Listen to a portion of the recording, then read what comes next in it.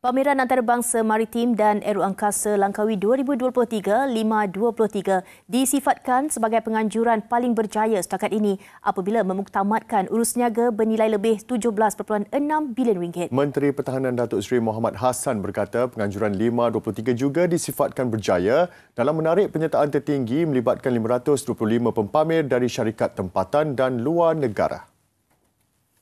Saya sebut sedikit tadi mengatakan bahawa Dewan Masuri ini tidak lagi dapat menempatkan permintaan daripada pempamer-pempamer. Ramai ataupun banyak negara ataupun syarikat pada negara luar yang ingin mengambil bahagian tetapi tidak dapat kita penuhi kerana uh, ketiadaan tempat yang sesuai. Kita tidak pula nak letakkan mereka ini di kemah yang berasingan. Ya.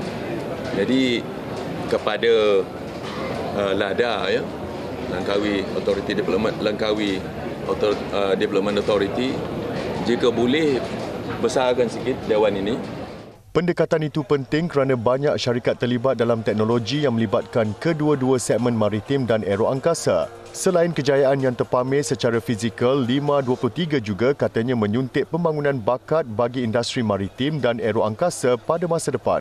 Ini akan menjadi sebagai satu ruang dan medan untuk anak-anak mereka ataupun anak-anak muda kita melihat bahawa kerja di dalam tentera udara, uh, tentera laut, lepas tu nanti dasarnya kita buat untuk tentera darat untuk kita menambah minat dan talent untuk anak-anak rakyat Malaysia ini menyertai Angkatan Tentera kita insyaAllah. Datuk Seri Muhammad berkata demikian dalam sidang media selepas majlis penutupan 523 di MIEC siang tadi.